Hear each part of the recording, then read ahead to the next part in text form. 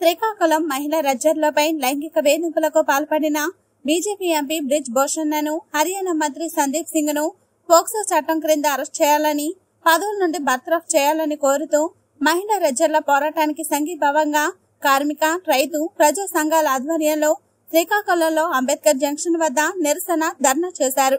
ఈ సందర్భంగా పలు సంఘాల నాయకులు మాట్లాడుతూ న్యాయం కోసం గౌరవం కోసం పోరాడుతున్న మహిళా రజ్జర్లకు ప్రతి ఒక్కరూ సంఘీభావాన్ని తెలియజేయాలని కోరారు.